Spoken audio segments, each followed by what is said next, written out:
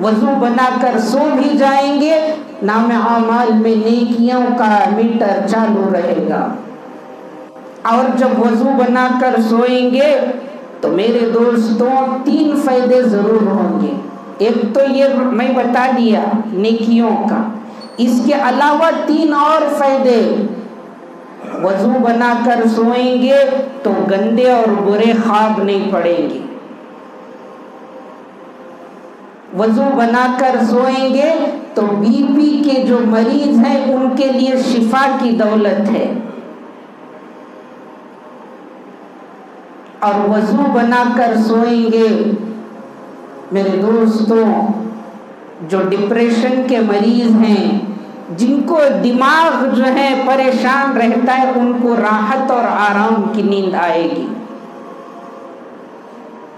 हज़रत बोले, आज ही चाचा ना कर को सो जाएँगे बात. वक्त तो लगता है हर एक चीज़ का। मेरे दोस्तों, जब भी बंदा वज़ू करने के लिए हाथ धोने के बाद कुल्ली करता है तो मुँह से और जबान से जितने गुनाह हुए, सारे गुनाह माफ़ हो जाते हैं। और आपने गौर भी किया होगा मैं सिर्फ़ याद दिलाता हूँ। जो बेसिक पॉइंट्स हैं, वो याद दिलाता हूँ मेरे दोस्त। वज़ू में अल्लाह पाक ने उन्हीं आज़ा को धोने के लिए कहा है, जो अक्सर आम तौर पर खुले रहते हैं। हाथ हमारे खुले। खसूसी तौर पर हाफ़ शर्ट पहन लिया या टी शर्ट पहन लिए, उनके तो इतने पूरे खुले हाथ। चेहरा हमेशा खुला रहता है, पैर खुले रहते हैं, जिसकी वजह से गंदे जरासीम इन आज़ा पर बैठ जाते हैं। अब ये बैठने की वजह से हमें स्किन प्रॉब्लम हो जाती है एलर्जी की प्रॉब्लम हो जाती है, बीमारियाँ नई नई आ जाती हैं, जिसकी वजह से और दो आज़ा ऐसे हैं, दो रास्ते ऐसे हैं कि ये जरासीम आसानी के साथ हमारे जिसम के अंदर भी चले जाते हैं। वो है मुँह और नाक। अल्लाह पाक ने ऐसा सिस्टम बनाया है कि दिन में अगर पाँच दफ़ा इन आज़ा को तुम धो लो, कुल्ली करके मुँह साफ़ कर लो, नाक में पानी लेकर छोटी उंगली से नाक साफ़ कर लो, मेरे दोस्तों, बड़ी बड़ी बीमारियों से अल्लाह ताला हिफाजत फरमाते हैं। बड़ी बड़ी बीमारियाँ।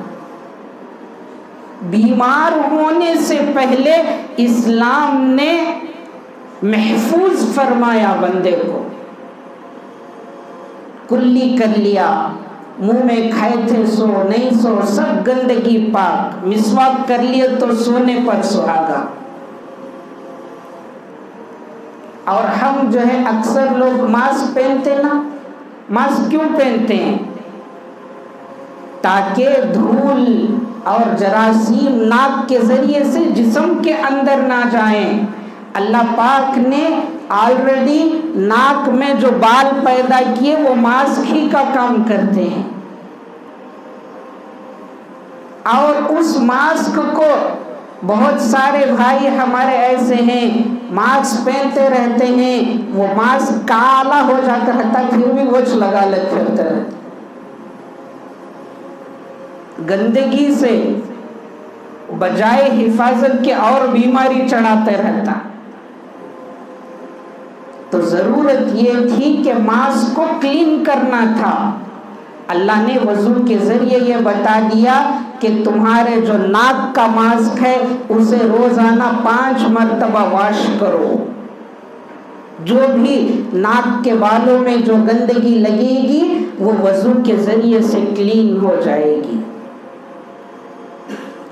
अब जब अच्छी तरीके से वज़ू बना लेंगे टोटली पाक और साफ़ हो जाएँगे। एक तरफ़ जाहिरी गंदगी, धूल, मिट्टी जरासीम से भी पाक, दूसरी तरफ़ गुनाहों से भी पाक।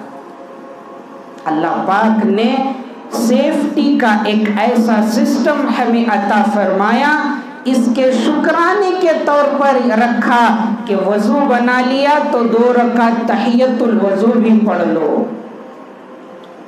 एक ऐसा सिस्टम, एक ऐसा निज़ाम अल्लाह पाक ने हमें दिया, अल्लाह का शुक्र जितना भी करें कम है। और भी वज़ू से हमें क्या फ़ायदे हासिल होते हैं? और वज़ू से क्या नेकियाँ मिलती हैं, क्या अजर मिलता है इन अगली जुमा भी बयान की जाएगी। आप सभी हजरात से यही गुजारिश है कि ज़रा जल्दी आने की कोशिश करें, ताकि बात पूरी समझ में आए। अल्लाह से यही दुआ है, अल्लाह पाक हम तमाम को कहने, सुनने से ज़्यादा अमल की तोफ़ी अता फरमाए। आमीन। व आखिर हम्दुलिल्लाहि रब्बिल आलमीन सुन